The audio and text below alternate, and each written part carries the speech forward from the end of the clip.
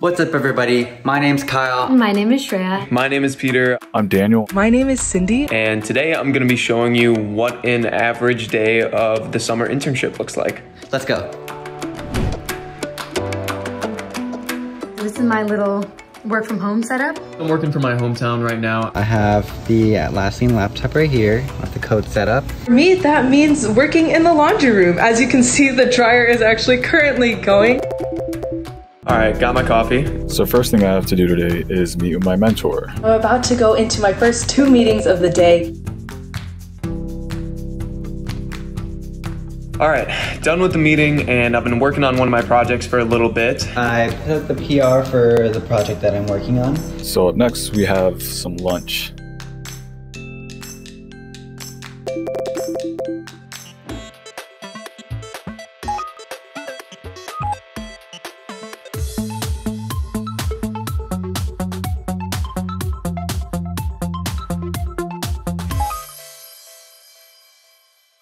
The campus recruiting team shipped succulent kits to all of us interns for the succulent workshop. And now the last thing on the calendar today is just a sync up call with my mentor. We're gonna go ahead and end the day with Atlassian Beyond Wellbeing sessions. All right, it's time to log off for the day. So it's dinner time, and we have the intern event going on right now.